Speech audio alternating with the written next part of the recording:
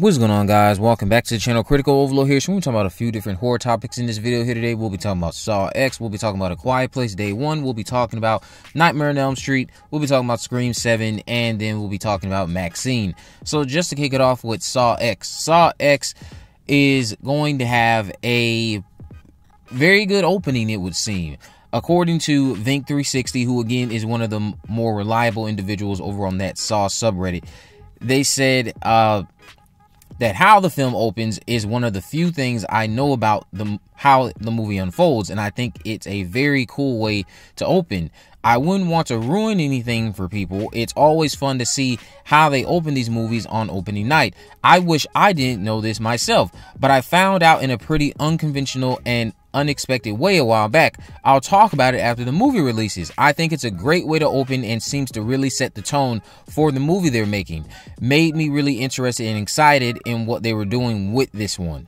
Now, that of course gets me intrigued and gets my mind going as to what this opening could be because those are some solid enough compliments about the opening without being overly spoilery about what happens in the opening. I have no idea how to predict this opening at all based on what we have seen from the marketing so far, but I could see the film opening in a certain way based on what we know about the timeline of this project. Since we know that Saw X is taking place after the events of Saw, in between the events of Saw and Saw 2, perhaps we are going to see the film open right after John left Adam at the end of the first movie. Perhaps we will see his next actions after leaving Adam screaming for his life in that darkness. That's just a guess based on how, again, we know it's set in between one and two, and I wouldn't mind seeing an opening sequence like that. Imagine that being the very first thing we see. We see Tobin Bell back in the iconic look he had from that original film after he spent most of it lying on the ground,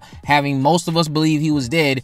And the very first thing we're seeing in Saw X is him walking away from the slam door. We can hear Adam still screaming, and we just get to see what he did next after that. What specifically did he do next? How did he end up out of that bathroom scenario with with Adam. We know he walked out, but what did he do afterward? Maybe that's how Saw X will open. Maybe we'll get to see the aftermath of that.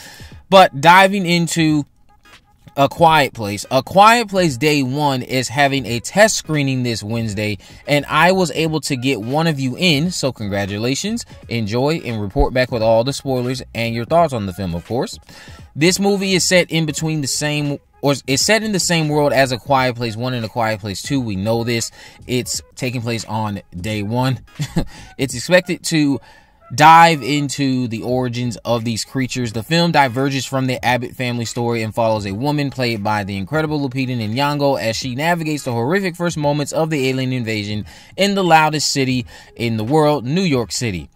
Uh, now, with it diving into the creature's origins a little bit further, this can either damage those creatures' mystique or it can improve it, but we'll just have to see how it's executed. Again, the test screening is happening on Wednesday. I know many of you are still asking me, can I send you the link to RSVP? I will say that again, I already got one of you in. The link seems to be dead now. So I will go ahead and remove those postings from my social media account so I can stop getting messaged about it. But again, I will let you know what one of you thought about the film because I got you in to see it on Wednesday. Hope you enjoy it. Report back with all the spoilers. Let me know what you thought about the movie. Now, Mark Patton, who plays Jesse in Nightmare on Elm Street 2, put out on Instagram a post of the Freddy's Revenge opening with the caption, Big news coming for me and my Nightmare fans. Jesse's gonna rise up. Well, soon you'll see. Now, remember, I said that one of the rumored pitches which I have on good good authority actually is indeed one of the pitches involved in that bidding war that took place earlier this year. One of the pitches to get Nightmare on Elm Street revived was doing a modern take on Freddy's Revenge. You would have a female director. Obviously, you'd have a new Freddy Krueger. Robert Englund would just be involved to help find the new Krueger actor, and Krueger would have a gloved arm instead of the traditional one we've seen in the past. That's one of the pitches for a new film. But I doubt Patton is talking about that because I've seen the rumors also of a 4K re release of these films, but maybe it's just happening for the original. It could be happening for the whole entire franchise. Now, I think Patton is simply referring to some unannounced upcoming merch of sorts, and he can't talk about it yet. If it's a new film with Jesse back in a legacy role, I'll be fine with that too.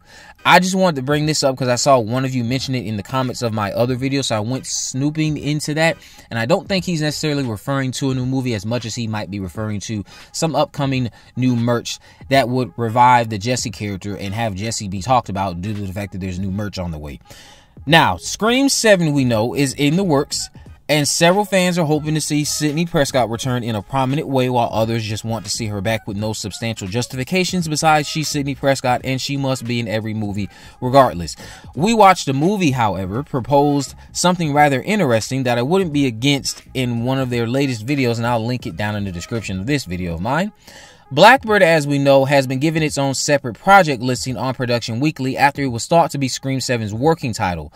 We watched a movie had this idea of Blackbird somehow still being a Scream movie in the Screamverse, but it's a spin-off film for Sidney Prescott to be targeted by a Ghostface killer with none of the core four involved in the project. Now, I highly doubt this is the case, but I gotta say, that would be epic and it would clear up a lot of the issues I could see with Scream 7 and Sidney's return.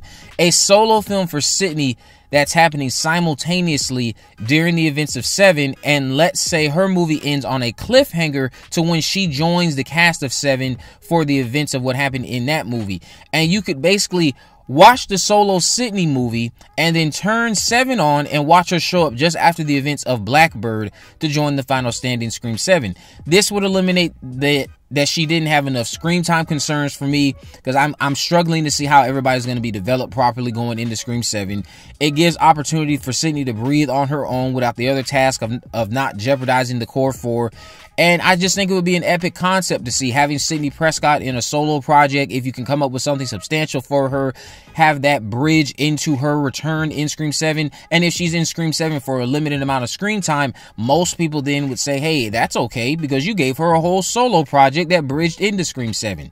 Now, I doubt that's going to happen, but I just wanted to say that was a very cool concept that we watched the movie came up with. And I'll leave a link to their video in the description. Now, jumping into this last thing here with MaXXXine. Some of you did point out that MaXXXine, of course, will be having a young actress in the film with a certain role for the project that I will talk about. We know that this is going to be following Maxine Minx in the 80s, trying to make it as an actress in Los Angeles, but there's going to be a killer on the loose. It's a who done it. You're not going to know who the killer is like how you knew who the killers were in X or Pearl. It's going to be a who done it. Uh, we know Halsey's in it. We know Kevin Bacon's in it. And a whole other list of talented individuals. But there's a cast member on IMDb that was highlighted to me. Charley Rowan McCain is cast as young Maxine. Now, many of you would argue that, oh, well, IMDb isn't reliable. Now, I have on good authority that this, in fact, is reliable this casting anyway. Charley Rowan McCain is indeed going to play young Maxine. You will see a younger version of Maxine in the upcoming film. And yes, it isn't going to be diving into her backstory. I put out a tweet earlier this week saying that her line of, I will not accept the life I do not deserve. I put out a tweet saying that this line makes sense now.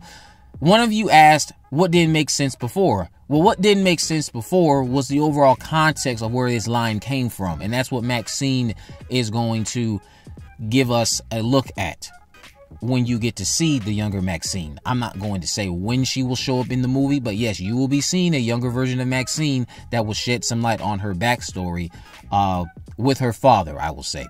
Let me know what you guys think about this down in the comment section below. If you haven't already, of course, make sure you subscribe, turn on post notification, and there's a video in the description. I'll have links on my social media accounts. I am on Facebook, Twitter, and Instagram. You can message me there, of course. Let me know any movies, news, or reviews you'd like me to cover in the future. And with all that in mind, guys, I will see you in the next video.